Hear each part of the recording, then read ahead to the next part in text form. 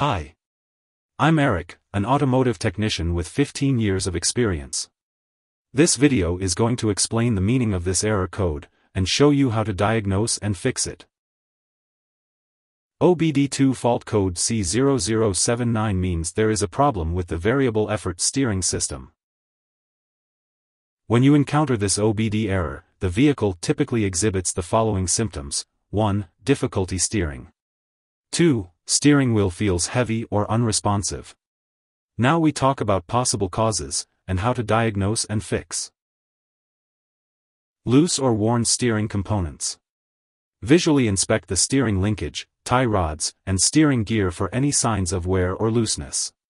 Check for any play or movement in these components. Tighten or replace any loose or worn steering components as necessary. Make sure to properly torque any fasteners. Low power steering fluid.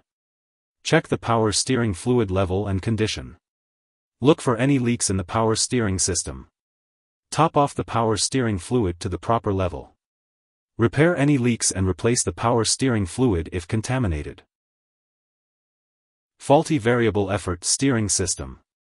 Use a scan tool to check for any fault codes related to the variable effort steering system. Test the operation of the variable effort steering system to determine if it is functioning properly. Replace the variable effort steering system if it is found to be faulty. Consult a professional if needed for proper diagnosis and repair. If there are uncertainties, feel free to engage in discussions by leaving a comment.